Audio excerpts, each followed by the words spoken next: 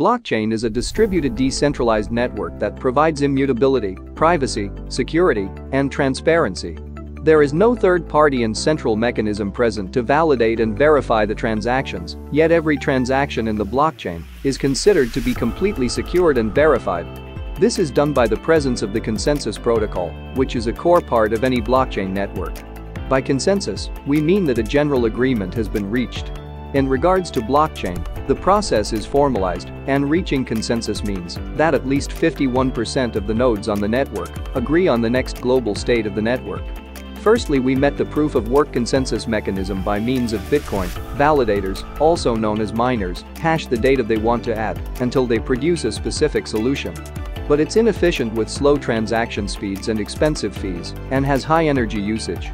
Secondly, in proof of stake, miners are more likely to win additional blocks if they have more money. For instance, Ether, in the case of Ethereum. In other words, proof of stake relies on proof of how much stake users have. Miners demonstrate that they have cash at stake by expending energy through proof of work. While its environmental credentials are more impressive because it uses less energy, the approach hasn't really been proven on the scale that proof of work platforms have.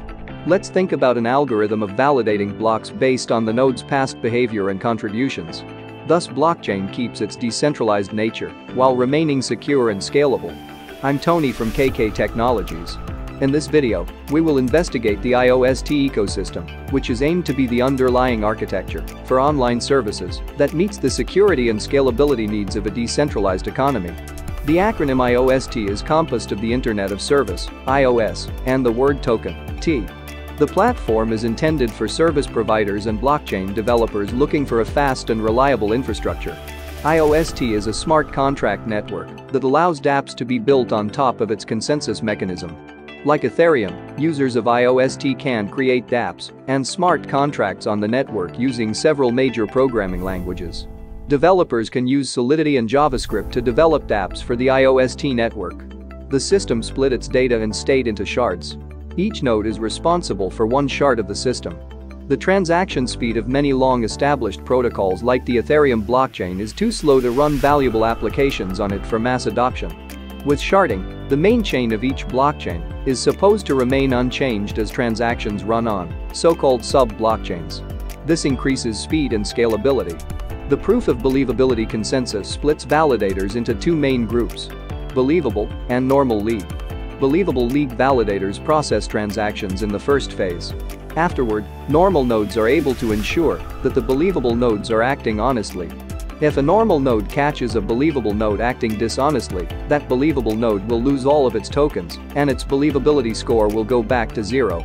The number of earned Servi tokens, IOST staked, positive reviews, and previous actions are used to determine if a node is considered believable or normal league. IOST is the native token of the ecosystem. Users can stake and trade IOST, and it serves as the medium of exchange for all transactions and commission fees. To sum up, the platform can currently handle up to 8,000 transactions per second without compromising security.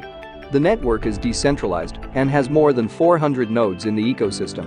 Cryptocurrencies are also highly volatile, so your cash can go down as well as up in the blink of an eye. As always, you should never invest in something you don't understand. What are your thoughts about IOST? Would you use or invest in it? Let me know in the comments section below. Thanks for watching. If you find this video helpful, please tab the subscribe button